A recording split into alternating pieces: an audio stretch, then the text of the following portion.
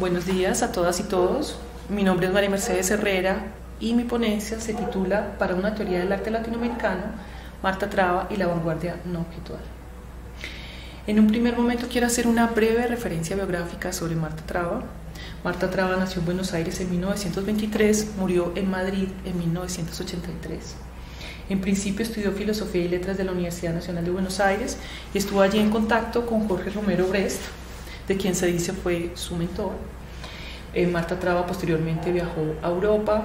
Em, allí conoció a su primer esposo, el intelectual colombiano Alberto Salamea. De ese matrimonio, pues eh, resultó que ella se radicó en Bogotá y aquí estuvo entre 1954 y 1969. Esa estadía de Marta Traba aquí en, el, en, Bogotá y en el país hizo que ella desarrollara un importante papel para la crítica de arte colombiana y marcara muchos de los parámetros de lo que debía ser un crítico de arte. Marta Traba difundió su pensamiento a través de cátedras universitarias, programas en televisión, también publicaciones en prensa. Eh, dirección del Museo de Arte Moderno, manejo y fundación de su propia galería, su propia galería de arte. Bueno, finalmente Marta Traba salió del país en 1969, luego de un fuerte enfrentamiento con, una, con un grupo de artistas que estaban reclamando el manejo del eh, vigésimo Salón Nacional de Artistas. Eh, Marta Traba salió del país también y porque tuvo un segundo matrimonio con el intelectual Ángel Rama eso hizo que ella entre 1969 y 1983, al momento de su muerte, estuviera eh, viviendo entre Montevideo, San Juan de Puerto Rico y Caracas, y también viajando por las universidades norteamericanas y europeas. Bueno, Marta Traba tendría entonces dos momentos, dos momentos importantes. Un primer momento intelectual que sería un momento más esteticista y más con aspiraciones universalistas en ese primer momento Marta Traba estableció muy, digamos, con unas muy buenas bases una, una generación de artistas que son Fernando Botero, eh, Alejandro Obregón, Enrique Grau, Eduardo Ramírez Villamizar, Armando Villegas, eh, se me escapa uno, que son estos modernos colombianos tan importantes. En, en ese primer momento, pues como ya lo anoté, sus pretensiones son como hacer una especie de americanismo que se inserte dentro de todo un lenguaje universal. Ahora, un segundo momento de Marta Traba es un momento en el cual ella se está cuestionando la existencia del arte latinoamericano y está tomando como referencia diferentes eh, teorías a nivel sociológico, también está involucrando la crítica de arte y la crítica de exposiciones y sobre todo está, tiene una fuerte preocupación social. ese segundo momento de Marta Traba es el que se caracteriza por ser como el momento más combativo y más de lucha política, es decir, de una crítica de arte comprometida con la transformación social. Bueno, de, en ese segundo momento Marta Traba eh, generó una serie de categorías importantes eh, como por ejemplo la teoría de las áreas abiertas y las áreas cerradas, la estética del deterioro, el arte de la entrega, la cultura de la resistencia, el regionalismo, la nacionalización del pop y la vanguardia no objetual. La vanguardia no objetual eh, fue la última categoría eh, generada por Marta Traba antes del momento de su muerte. En 1975 Marta Traba se estaba preguntando si existía un arte latinoamericano esta pregunta la hizo en la ponencia Somos Latinoamericanos que presentó en la Universidad de Texas.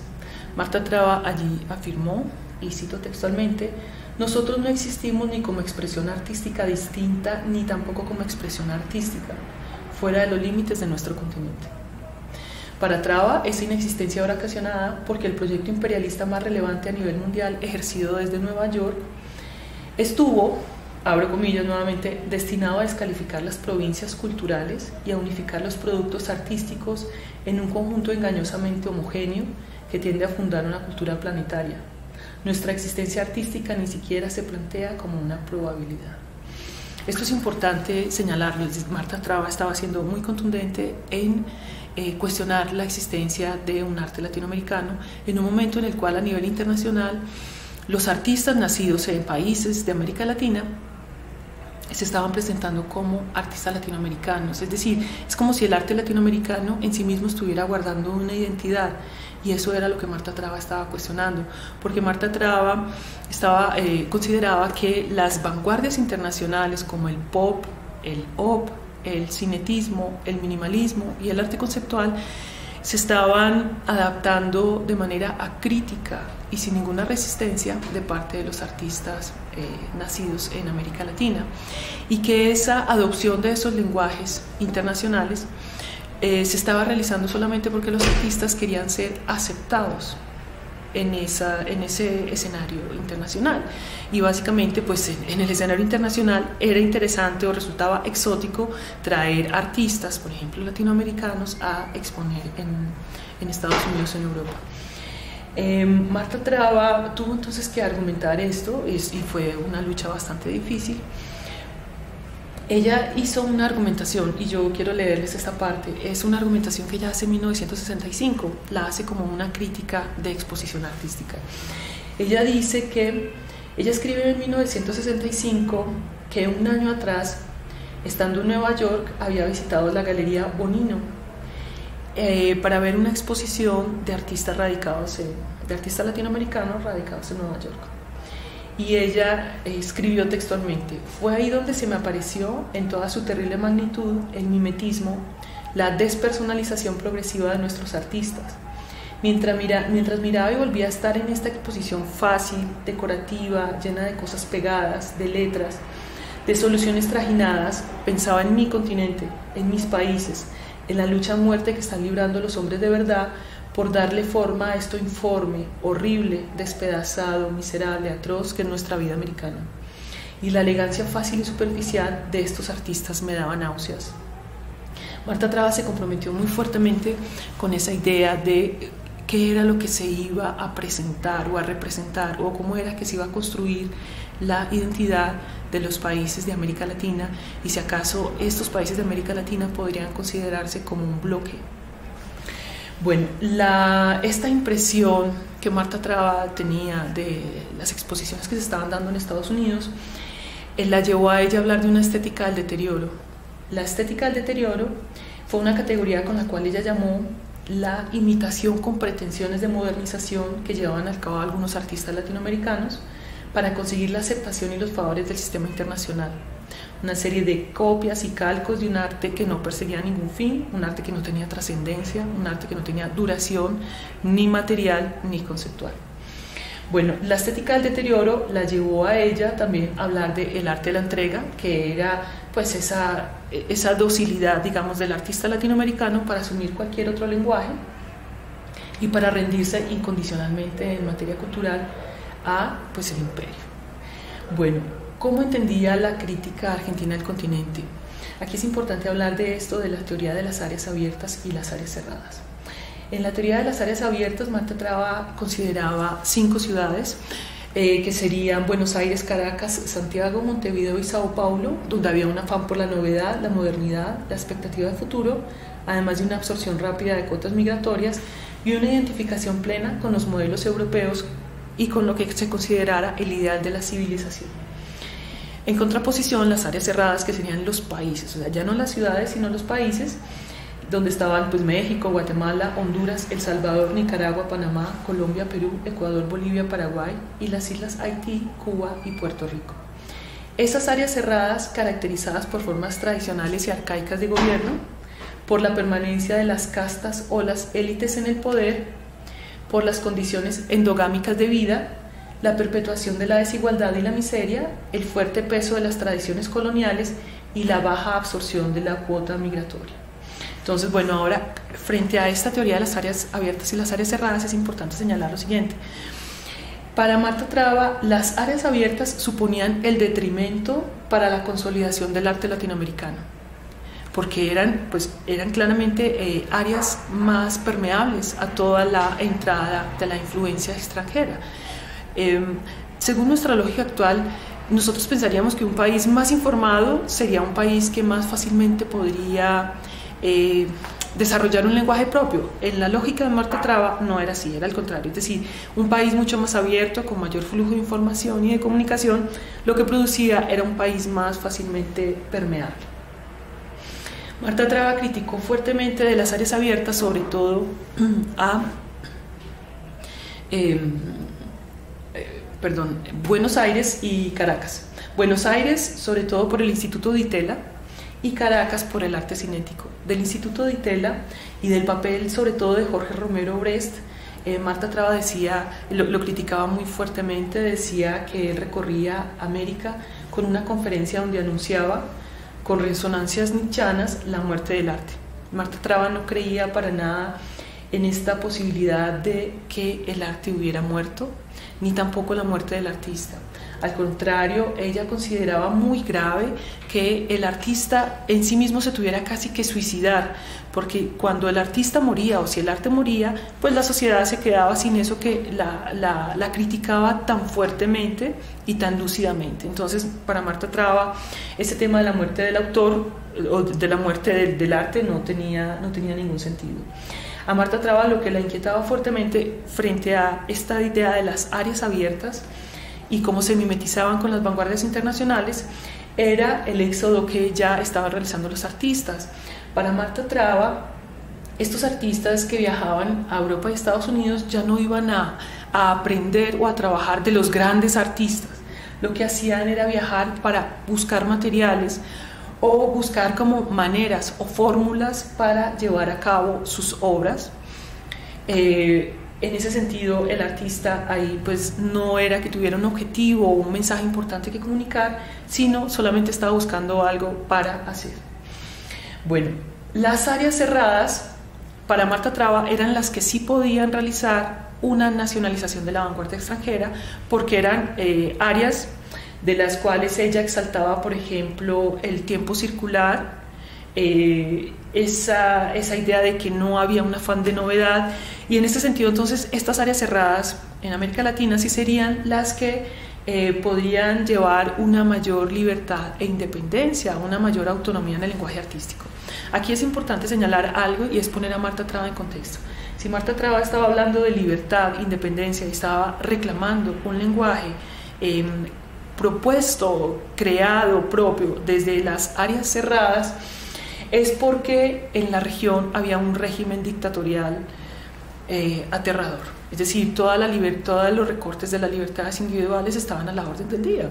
¿sí? Entonces, precisemos, por ejemplo, para las áreas cerradas, la dictadura de Juan Velasco Alvarado en el Perú, del 68 al 75, Hugo Banzer en Bolivia, del 71 al 78, Alfredo Stroessner en Paraguay, del 54 al 89, Anastasio Somoza en Nicaragua del 67 al 79, François Duvalier en Haití del 57 al 71, en las áreas abiertas las dictaduras de José Rafael Videla en Argentina del 76 al 81, Pinochet en Chile del 74 al 90, Aparicio Méndez en Uruguay del 73 al 85. Estas dictaduras eh, que hicieron parte de la, eh, digamos, su marco cronológico estuvo dentro de la, la década del 70 pero hubo dictaduras también que precedieron eh, a estos países, digamos, el gobierno de estos países en la, en la región. Entonces, ahí, ahí nosotros podemos entender cómo Marta Traba, digamos, era tan contundente denunciando los peligros que se estaban viviendo en el continente, los peligros para la expresión artística y esa alta vulnerabilidad a ser eh, dominados eh, en cuanto a los lenguajes, es decir, es ser obligados a hablar los lenguajes ajenos. Entonces, en ese sentido, eh, Marta Traba hablaba de la cultura de la resistencia, ese sería otro de los, de los digamos, de las categorías más importantes, la cultura de la resistencia y también eh, la nacionalización del pop. Para Marta Traba, la nacionalización del pop fue dada por la artista colombiana, principalmente por la artista colombiana Beatriz González, dado que, eh, según su consideración, la, artista logró permear un lenguaje popular y logró hacer una subversión en el lenguaje enfocándose mucho en la provincia y no teniendo, em, no tratando de imitar o de resonar eh, como en unos ecos universales o internacionales. Bueno, llegamos al punto en donde Marta Traba estaba afirmando la existencia del arte latinoamericano. Esto fue más o menos hacia 1979.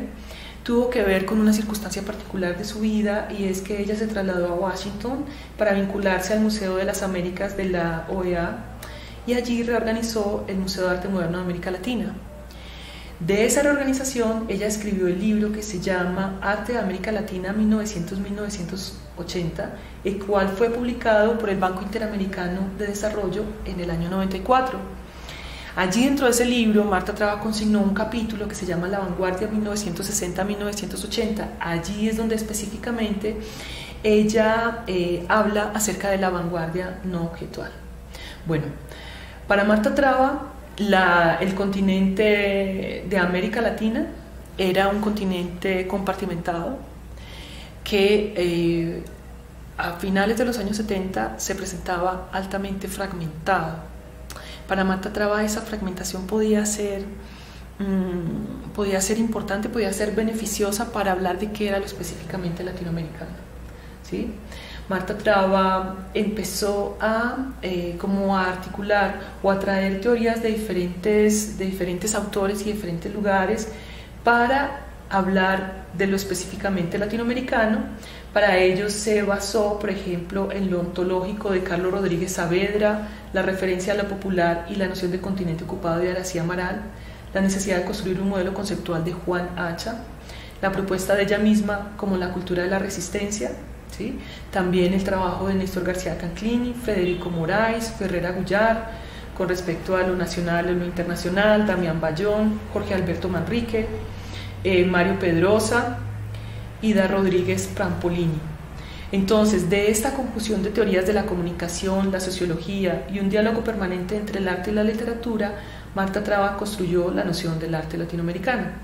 Para Marta Traba, el arte latinoamericano tenía varios rasgos particulares. Uno era el renacimiento del dibujo y el grabado como formas modestas de comunicación. Para Marta Traba lo importante del arte era que se comunicara con el público, no que fuera hermético. Y hay una de las críticas más importantes que ella le hacía al conceptualismo, al arte conceptual, por considerar que no se comunicaba con el público. Bueno, para Marta Traba ese arte latinoamericano podría ser vanguardista y siendo una, un, arte vanguardista una vanguardia podía producir objetos, o sea, ser una vanguardia objetual o no producir objetos o ser, o ser una vanguardia no objetual. Lo importante allí no era si se producían o no se producían objetos, sino lo importante era que fuera un arte que se diera a la liberación y no a la dominación. Ya entendemos cuál es el contexto de esta reflexión. Bueno, dentro de la vanguardia no objetual, eh, hubo una serie de manifestaciones que identificó Marta Traba eh, muy disímiles, entre esas lo más importante fue el que esa vanguardia no objetual rechazaba y se alejaba de las instituciones representadas en los museos y las galerías y se eh, refería a un arte no tradicional que se, como, como se difundía a través de los movimientos populares. Marta Traba hizo un listado que hoy en día puede, puede resultar pues, polémico, un listado de artistas por países, hablando de esa vanguardia no objetual y cuáles eran los artistas que allí estaban. Ese listado fue apenas con unos pequeños adjetivos, apenas unas frases pequeñas.